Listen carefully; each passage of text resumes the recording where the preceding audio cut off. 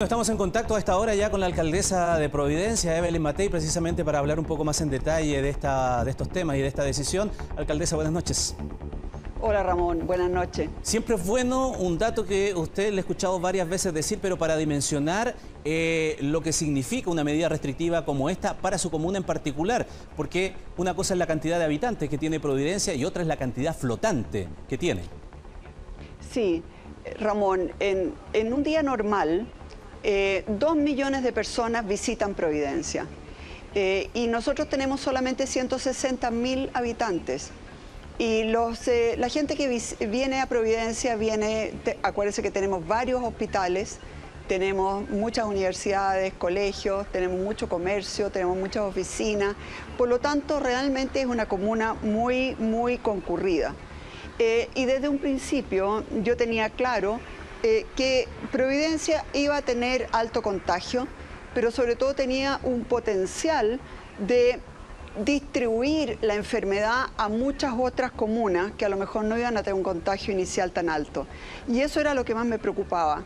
Eh, así que por eso que cerramos en su minuto rápidamente los colegios, los malls, eh, los restaurantes, etcétera. Y ahora viene esta medida que me parece correcta, porque tenemos que cuidar la salud de los habitantes de Providencia, pero también de toda esa otra gente que de alguna manera pasa por Providencia.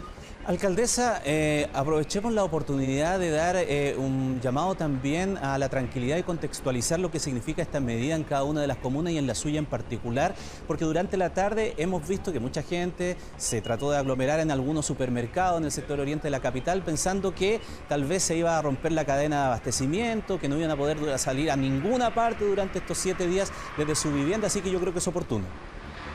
Sí, Ramón, probablemente faltó desde un principio hacer un llamado a la calma. Acá los supermercados siguen funcionando, las farmacias siguen funcionando, em, em, el almacén de la esquina que vende alimentos va a seguir funcionando eh, y como de lo que se trata es de evitar aglomeraciones y eh, evitar el contacto entre mucha gente, lo peor que usted puede hacer ahora es ir a hacer una tremenda fila para abastecerse en el supermercado, porque después en una semana más, en tres, cuatro días más, si necesita algo, van a estar abiertos. Eh, así que evite las aglomeraciones porque de, de, eso se trata, no contagiarse ahora. Y en las aglomeraciones lo más probable es que usted sí se contagie. Así que un llamado a la calma, esto, usted va a poder salir a pasear al perro eh, el, conserje va a poder llegar a su oficina. Eh, o sea, las cosas básicas necesarias, se va a seguir retirando la basura, vamos a seguir vacunando a los adultos mayores en sus casas, vamos a suspender naturalmente las vacunaciones masivas eh, que estábamos haciendo en los colegios, pero todavía tenemos hasta el 30 de abril, tenemos mucho más de un mes todavía para seguir vacunando, así que de verdad un llamado a la calma.